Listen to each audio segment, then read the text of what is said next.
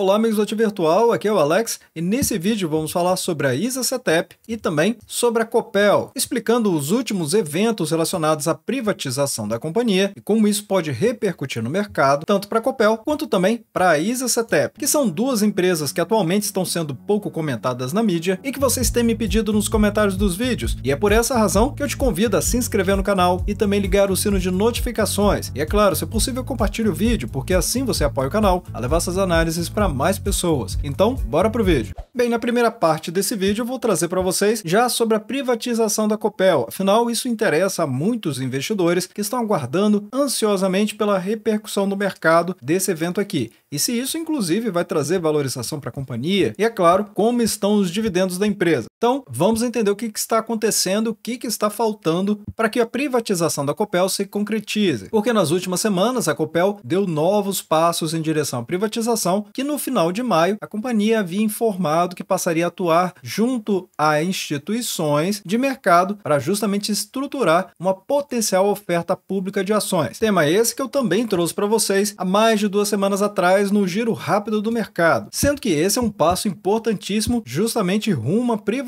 que a empresa já tinha informado no primeiro trimestre do ano de 2023 e também no quarto trimestre do ano de 2022, que era o seu principal foco para o primeiro semestre do ano de 2023. Mas explicando um pouco mais para vocês, a privatização é quando uma empresa estatal, ou seja, que ela pertence ao governo, passa a ser de propriedade privada. No caso da Copel, o governo do Paraná atualmente detém 31% das ações da empresa, aproximadamente, vai passar a ter uma participação menor e deixará de ser um acionista controlador. E que, aliás, a empresa tem essa intenção mesmo. Como chamado pelo próprio CEO da companhia, a intenção é que a empresa seja uma corporation, ou seja, sem um controlador definido. Mas o governo do Paraná continuará com ações ordinárias da empresa, então tendo uma participação relevante. Então, o que está faltando para essa privatização acontecer? Do ponto de vista legal, falta apenas que a Copel realize a oferta de ações para o mercado para que ela seja privatizada. Mas, por outro lado, ainda não está claro quando isso vai acontecer de fato. De acordo com o cronograma que a empresa havia divulgado no início do ano, isso já era para estar acontecendo, mas a empresa informou que a realização da oferta está sujeita a várias condições, como aprovação de órgãos reguladores e também as condições de mercado. Então, o que, que isso significa para a companhia? Com a privatização, a Copel será transformada em uma corporação, e isso significa que ela vai ter mais liberdade para tomar decisões e buscar por lucros, mas também terá mais responsabilidades e riscos atrelados ao seu negócio. O governo do Paraná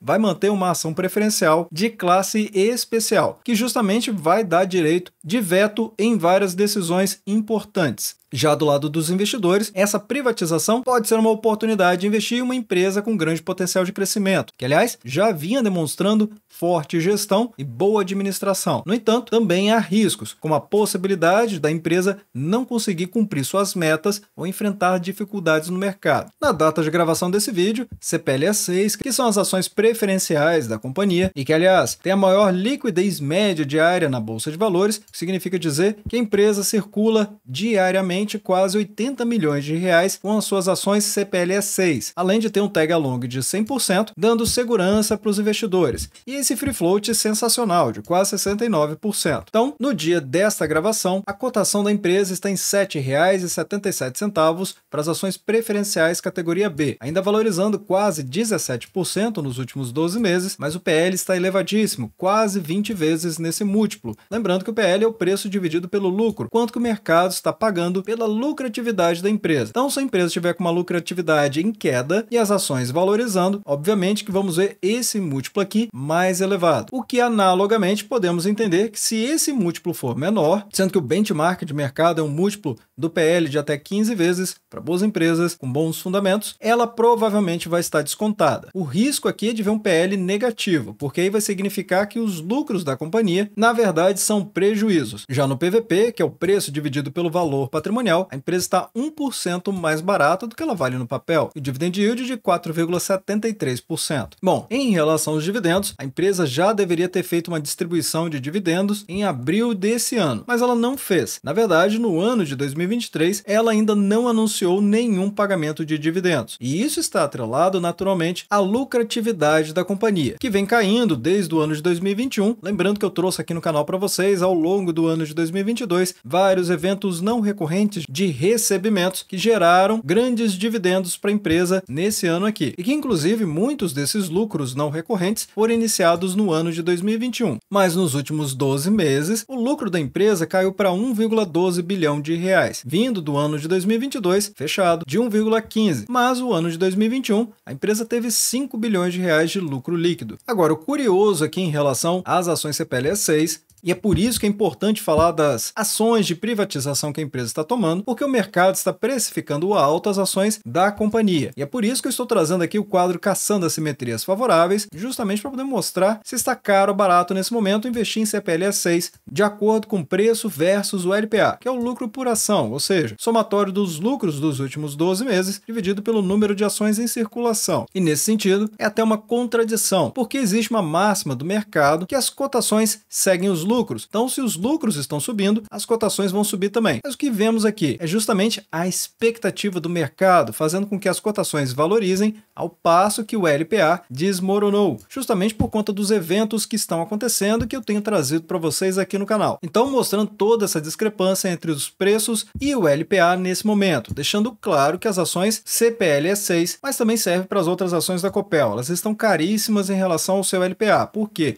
Porque eles estão muito abaixo das cotações nesse momento, justamente com esse movimento que eu expliquei das ações valorizando, o passo que a lucratividade da empresa caiu significativamente. É claro que o mercado está precificando a lucratividade no futuro, até por conta da privatização da companhia. E assim, os investidores precisam ficar atentos aos movimentos do mercado, porque com a realização da privatização, provavelmente vamos ver oscilações fortes na bolsa de valores. O mercado se move na expectativa e realiza no fato.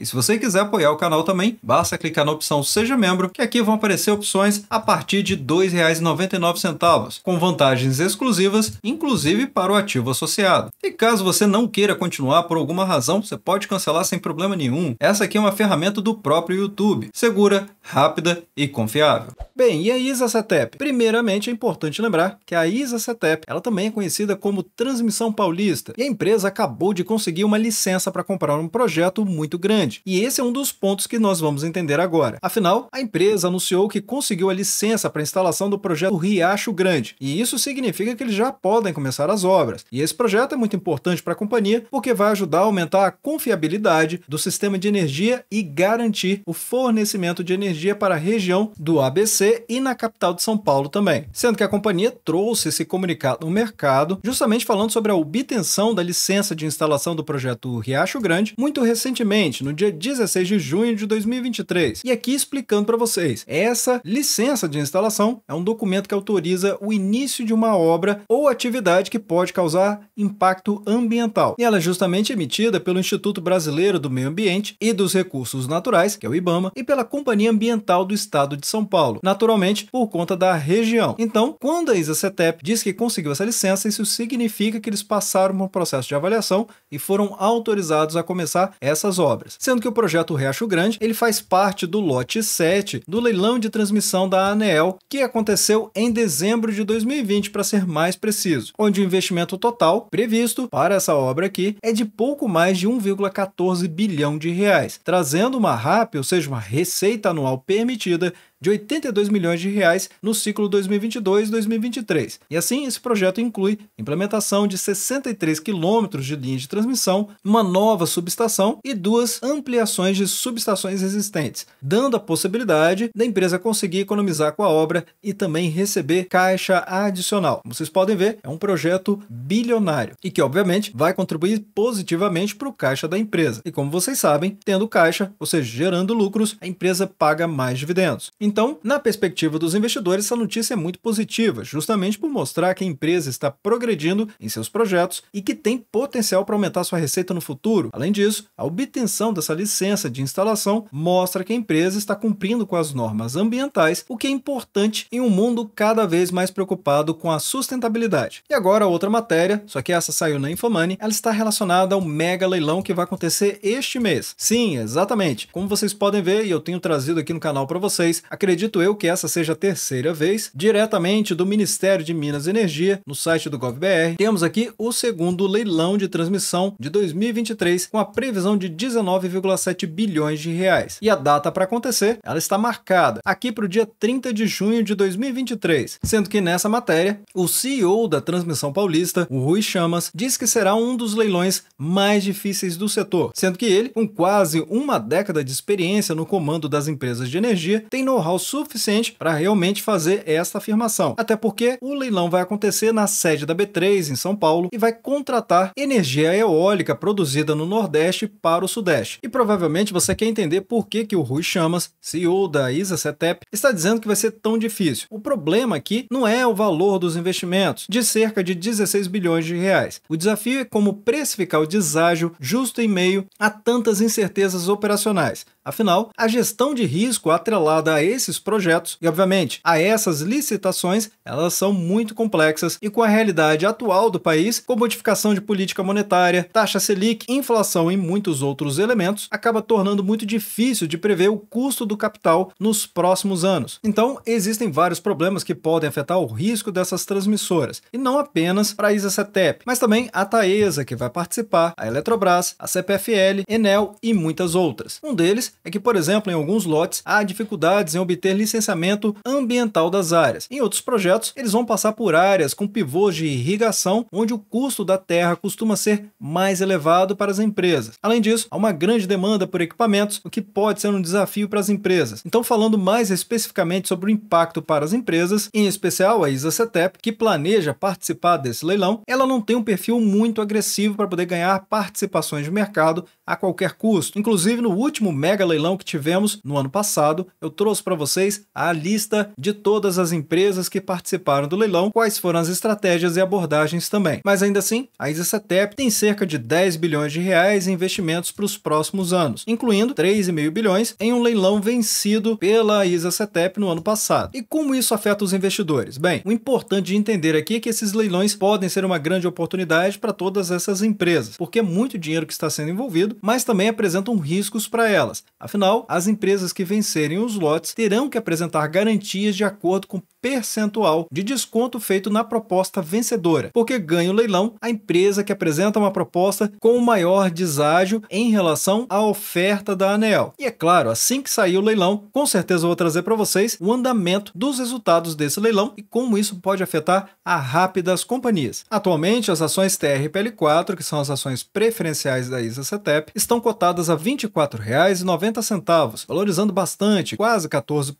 nos últimos 12 meses. PL é muito bom, de 6,65, e o PVP mostra que a companhia está 3% mais barato do que ela vale no papel. Mas o dividend yield não impressiona, de apenas 4,27% por conta dos últimos eventos que eu também trouxe para vocês aqui no canal. Mas que mesmo pagando menos dividendos, podemos ver aqui no gráfico semanal da TRPL4 toda essa valorização das últimas semanas, justamente mostrando para vocês o semanal porque é a visão de médio prazo, de alguns meses até poucos anos. Então, por exemplo, da semana do dia 3 de abril de 2023 até os dias atuais, a empresa já valorizou 14,82%, inclusive chegando bem perto aqui da máxima histórica da companhia, lembrando que esse é um gráfico ajustado em R$ 25,75. Mas essa vela, também conhecida como candle ou candlestick, ela demonstrou fraqueza nesse último movimento de alta, mas ela não significa uma reversão dessa tendência de alta que está acontecendo desde o início de abril deste ano. A reversão de tendência vai ser apenas se nesta semana ou na próxima semana a empresa perder o fundo anterior, aqui nos R$ 24,09. E agora trazendo para vocês o quadro caçando assimetrias favoráveis para falarmos de TRPL4, justamente para a gente avaliar aqui o preço versus o LPA. E nesse sentido, podemos ver que o LPA da ISA-CETEP também caiu, mas as cotações continuam subindo. No caso da ISA-CETEP, a expectativa do mercado é que ela consiga retomar